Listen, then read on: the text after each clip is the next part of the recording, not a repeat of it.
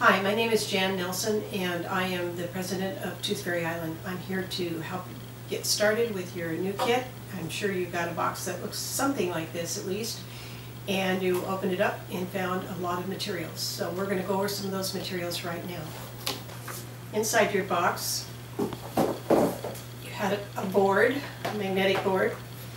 And I'm sure you took all your little magnets and popped them out of their frames so that you have a selection that looks like this. And this is your magnetic board. You also have some other pieces that look like this and small round circular pieces.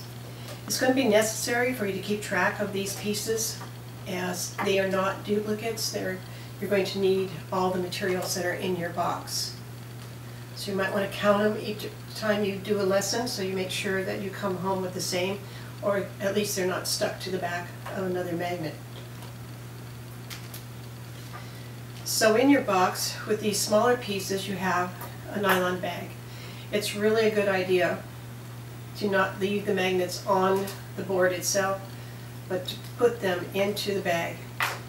This not only protects them, but it keeps them from getting bent and from you losing any of the smaller pieces. Even your medium-sized pieces will fit into the bag. Your larger pieces will not. These do is you put them at a diagonal and then just keep your bag cinched so that it's all right, ready to go. Your larger magnetic pieces it's easy to keep those just on the board itself when you're moving around. Now I want to point out that you have one big white piece like this. This magnetic piece needs to be just like this. Do not cut it, do not change its shape.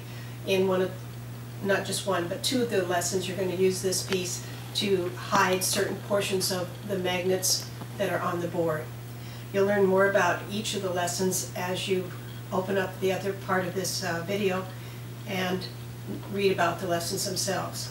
Be careful with these pieces because if they're bent, they do crack and they can be torn. While we're using very high level or high grade magnet magnetic flexible material, it still can be damaged. I'd like to remind you that, that these are not children's toys. This is to be a teacher adult directed activity and not left for children to just play with on their own especially with the smaller pieces because some of them can be a hazard for choking if they're put any of the smaller pieces into their mouth.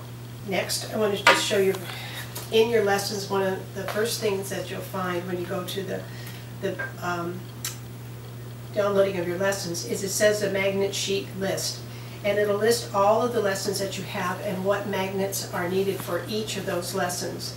This is a good reference to keep with this magnetic board so that when you go out and you're teaching, it's a quick reminder of what do I, I need to pull from my package for this particular lesson.